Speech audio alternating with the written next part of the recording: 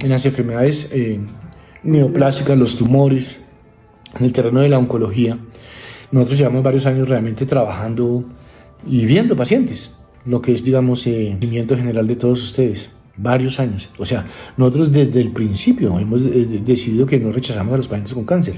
Así estén con quimio o sin quimio, indiferentemente del tumor, de lo que tengan o de los días que tengan de vida, porque eso es muy simpático porque muchos pacientes que tienen tantos días y no se los encuentra a los dos años gordos y colorados caminando por ahí, eso nadie tiene la última palabra sobre eso. Y sobre todo en la enfermedad neoplásica. La enfermedad neoplásica es exceso de fuego eléctrico, primero que todo. O sea, es exceso de núcleo, es exceso de voluntad, una voluntad distorsionada. En ese sentido, el remedio es el amor, el segundo aspecto, lo que relaciona, el hijo. De hecho, se sabe que toda la eh, entropía puede ser, se puede presentar una negentropía desde el punto de vista del amor, ¿no? Entonces, es lo primero que hay que comprender, digamos, como una enfermedad neoplásica. Y también que todas las enfermedades son un aspecto evolutivo del hombre, es decir, desde una gripa hasta, hasta una cirugía, hasta, sí, hasta un tumor, todos son aspectos evolutivos del ser. Cuando se desaparezca el temor a la muerte y a las inmundas enfermedades que hay sobre la tierra, es posible que el hombre ya pueda vislumbrar su eternidad, o por lo menos su longevidad, como estaba en las escrituras que todavía estamos cortos, aunque hemos evolucionado muchísimo. No hace mucho en la tierra llegar a los 25 años era todo un éxito. Ahora llegar a los 100 años no es, no es tan difícil, pues o llegar a los 90 con salud. Entonces en las neoplasias el primero es exceso de fuego eléctrico, el exceso de núcleo, el exceso de masculino, el exceso de querer más, de, de querer, sí, eso, como pasa en la Tierra también, exactamente. Eso es como un tumor, literalmente, que siempre quiere más fronteras, siempre quiere más y sigue gobernando y quiere más espacio. Es problema de territorio, claro, problema de territorio. El sólido platónico por excelencia para la enfermedad neoplásica es el dodecaedro. Claro, el dodecaedro. En teoría y en general nosotros no utilizamos el, cubo, por ejemplo. El hexaedro no lo utilizamos porque el cubo incuba, el cubo crea membranas, induce crecimiento.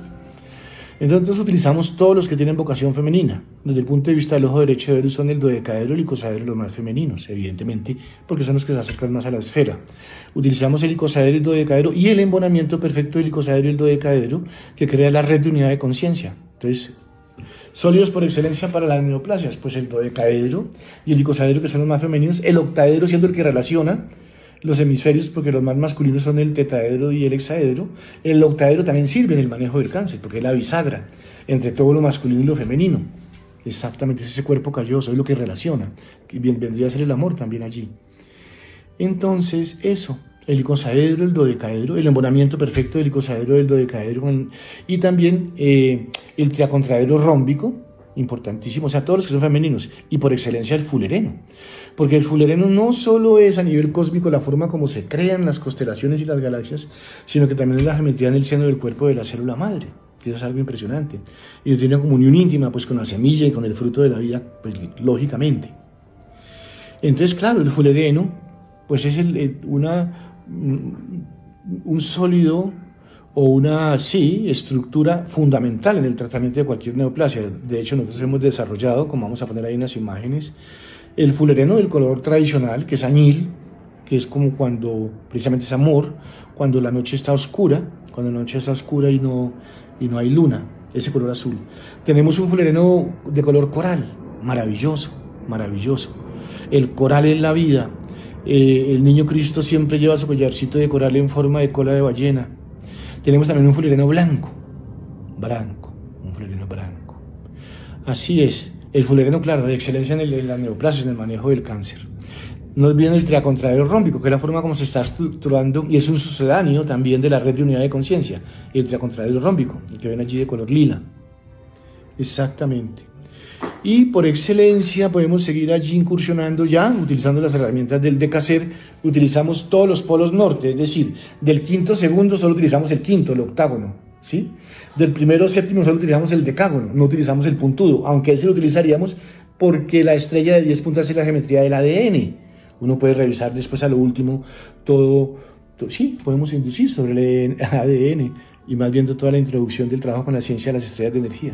Bueno, todo esto hablando de las neoplasias. y del manejo eh, por excelencia de las neoplasias. En general el dodecaedro y el icosaedro, el octaedro también de los sólidos platónicos, la red de unidad de conciencia, el triacontraedro rómbico, por excelencia el fulereno, y todos los polos norte del, eh, del eh, decacer, es decir, el decágono, el octágono y el hexágono. Y también pueden utilizar, eh, digamos, el del primer chakra, la estrella de 10 puntas, porque esa es la geometría del ADN en general. Pues, eh, a nivel de microscopía electrónica es muy evidente.